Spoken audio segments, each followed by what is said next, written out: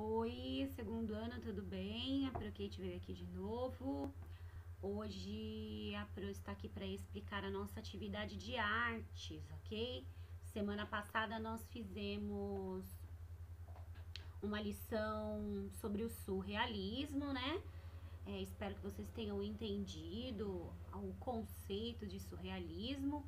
É aquela arte abstrata, aquela arte que vem do sonho, que é aquela arte que vem, em que nós produzimos objetos às, vezes que parecem ser sem sentido, né? Que dão a ideia de uma coisa é, muito imaginária, né?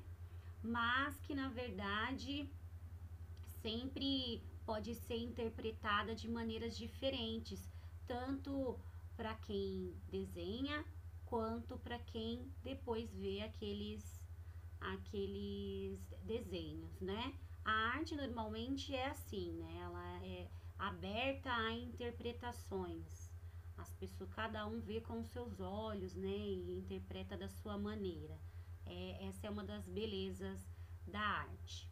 Então, continuando mais ou menos aí na mesma linha do surrealismo, hoje nós vamos conhecer um outro artista, pintor, que ceramista, né? Chamado Juan Miró, um artista espanhol que também usava a técnica surrealista, né?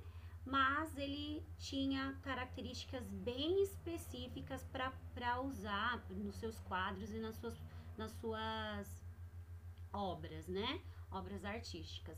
Então vamos dar uma lidinha lá na introdução e a Pro já vai explicando para a gente poder fazer nosso trabalhinho. Olha lá, pessoal. Aqui nós temos, né, a obra, né, do Juan Miró, um exemplo da obra dele, e nós vamos ver qual que foi, quais são as características das técnicas que ele usa para que a gente consiga reproduzir mais ou menos da maneira como ele fazia no nosso trabalhinho a seguir. Então vamos ler lá a nossa introdução. Do ponto à linha. Sempre que o ponto aparece isolado em uma imagem, chama muita atenção. Quando escrevemos, o ponto interrompe o que estamos dizendo e nos faz parar. O mesmo acontece quando observamos imagens como a pintura de Miró. Nosso olhar vai parando em cada ponto. Já a linha é um elemento visual que faz com que nossos olhos se movimentem para acompanhar a direção em uma imagem. Podemos também dizer que a linha é o rastro do ponto em movimento. Então, se vocês olharem aqui com atenção, segundo ano, ele começa aqui, ó, usando esse ponto, olha, grandão aqui, e existem outros pontos menores. Ele nunca trabalha com os pontos com os mesmos tamanhos. Olha, ele usa vários pontinhos. E ele usa a linha, né, as, as linhas para fazer um rastro, ó. A minha linha, ela não, ela não faz uma curvinha, né, mas percebam que ela faz um rastro. Parece que esse ponto aqui passou e se arrastou até aqui.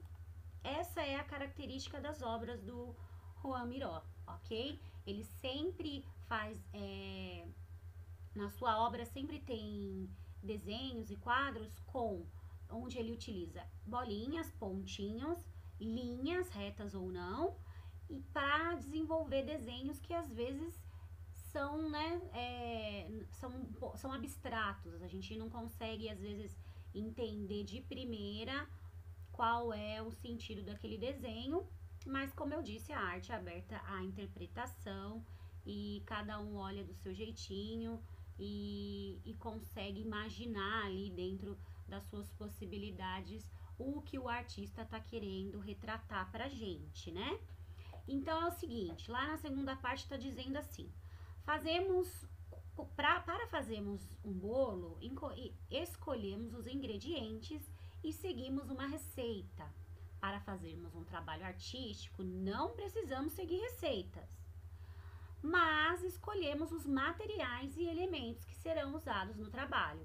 Então, olha, não tem receita para fazer essa atividade, assim como diz o nosso texto, mas a gente tem que usar certos elementos. que são os pontinhos e as linhas, ok? O meu desenho tem que ser composto por pontinhos e linhas.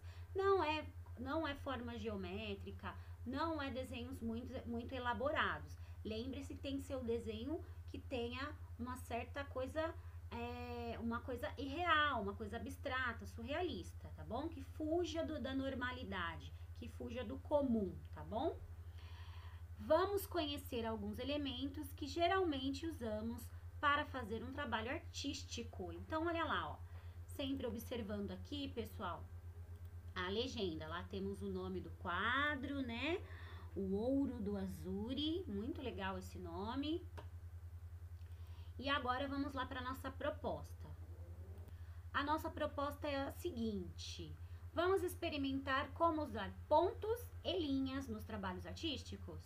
Crie pontos na na folha com cola colorida e diversas cores.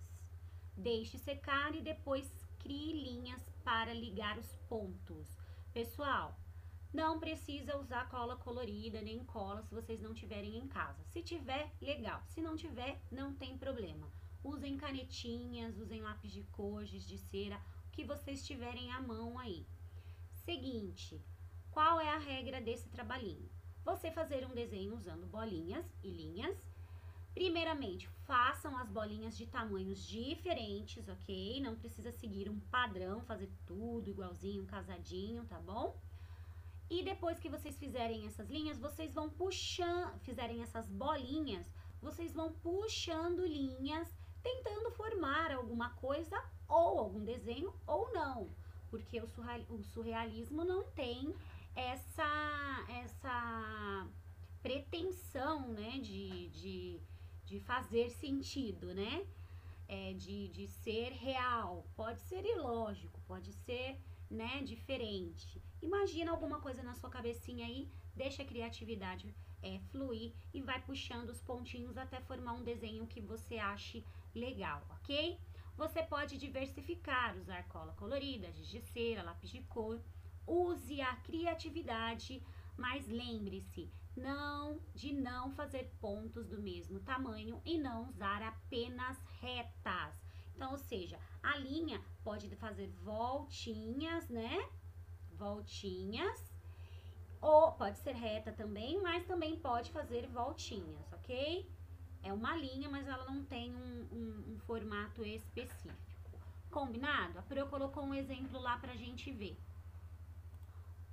Primeiramente, pessoal, aqui tem alguns vídeos para vocês olharem alguns desenhos que outros alunos fizeram. O segundo link é sobre as obras do Juan Miró, é uma, um vídeo sobre os quadros dele. Muito interessante olhar, pesquisem sobre a biografia dele também. E esses outros e esse último aqui também é sobre sugestões para vocês tirarem ideia de como desenhar. A Pro colocou outras duas aqui. Esse desenho aqui é do Miró, do Juan Miró. E percebam, ó, a diferença de um e de outro. Esse daqui tem linhas, olha aqui as linhas, estão vendo? Tem linhas e tem pontos, olha os pontos aqui, ó. Ele usou linhas e pontos para fazer o boneco, o espantalho. A gente ainda não, a Pro não consegue definir exatamente e usou as, os pontos, ó, as bolinhas de vários tamanhos. Ele aqui nesse desenho, ele não preencheu o desenho inteiro com pontinhos, tá bom? Ele fez vários, vários pontos de vários tamanhos. Neste daqui, foi um aluno que fez, uma criança, a gente não sabe quem, tá? Mas percebam que ele também não, ele usou as ideias do Juan Miró. Não está igual à obra dele, mas a ideia ele usou, que é qual? Bolinhas de tamanhos diferentes, olha aqui nas árvores, tem umas bem pequenininhas, outras maiores. E ele foi preenchendo e fazendo desenhos, usando linhas, olha aqui nas montanhas as linhas, olha aqui nas, no, no, no tronco da árvore as linhas, olha na casinha as linhas também. Esse desenho ele não está tão surrealista porque a gente consegue definir a imagem, ok? Aqui também a gente consegue relativamente definir a imagem, tá bom? Você pode fazer uma coisa que tenha uma certa um certo sentido, ou fazer uma coisa totalmente abstrata, igual o desenho do exemplo aqui de baixo, lá o ouro de. Deixa eu lembrar o nome. Ouro de Azuri, que é o exemplo do quadro do Juan Miró que está ali embaixo, eu acabei de mostrar. Tá bom? Vocês têm todas essas opções aí. Usem a imaginação, usem a criatividade e caprichem. Galerinha de folha folha avulsa, preferencialmente fazer em folha de sulfite. Só se não tiver mesmo, que aí vocês podem fazer numa folha com linhas, tá? Que eu acho difícil, acho que a mamãe providencia, nem que seja num caderno antigo aí de desenho. É, não esqueçam de colocar quem tá com folha avulsa não esqueçam de colocar a data, fazer o cabeçalho colocar o título da nossa atividade, que é, é retas e linhas, pontos e linhas, ok? Então é isso, espero que vocês gostem de fazer o trabalhinho, façam com, façam com capricho, tá bom? Até maio, essa é a nossa última atividade da semana, então vocês vão ter bastante tempo aí para caprichar e a gente continua se vendo. Já tô com saudade, tá bom? Beijo.